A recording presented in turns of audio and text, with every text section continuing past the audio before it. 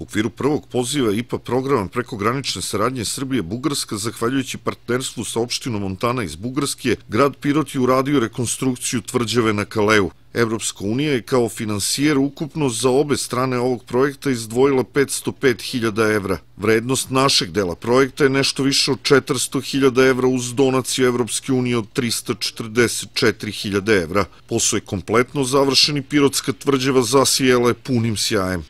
Inače, sami radovi su bili jako zahtevni, ovaj, njihova vrednost je 368.000 evra iznosila, tako da ovaj, 16 meseci su se ovaj, realizovali, počeo od 26. juna 2017. godine, ispoštovali smo dinamiku, planirane ciljeve i zadatke i ovaj, uspešno završili ovaj projekat. Podsjećamo i šta je sve urađeno.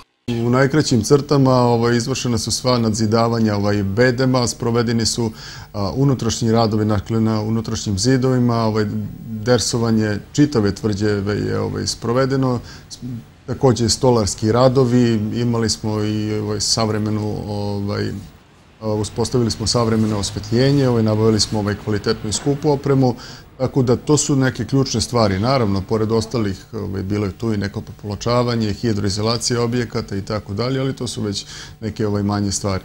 Radove na rekonstrukciji Pirotske tvrđave izvoje konzorcijum na čijem čelu je bilo preduzeće Ornament Invest Engineering iz Beograda, naravno pod stručnim nadzorom Zavoda za zaštitu spomenika kulture iz Niša. I ne samo iz Niškog zavoda, mi smo imali ove povremene posete stručnih ljudi iz Republičkog zavoda za zaštitu spomenika kulture.